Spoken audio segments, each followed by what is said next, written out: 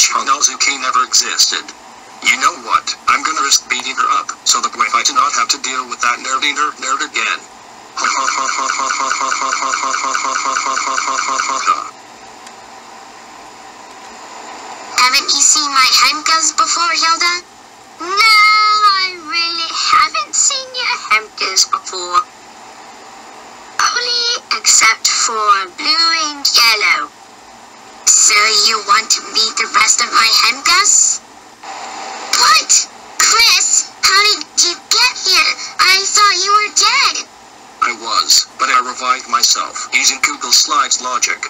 Anyways, how dare you go out with Hilda? That's it. I'm gonna beat you up. Not so fast, Chris. You're not gonna be her up this time. Oh yeah. Well, now you're not gonna get away with this, traitors. How dare you call us traitors? And the reason why we started hating you is because of the way you treated Noah. Now get out of here before we call Joy on you. How dare you threaten me like that? I demand this ownership of the house right now. You know what, Chris? I've had it with you.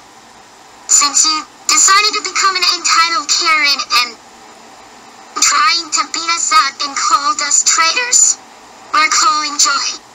Go home right now. Chris Potter. How dare you try to beat up Hanazuki for going out with Hilda? They can go out whenever they want to. Also, how dare you call them traitors, then try to own their house like an entitled Karen? That's it, Dad. You are grounded until I turn 30 years old in 2029. Go to your room right now. Dang it.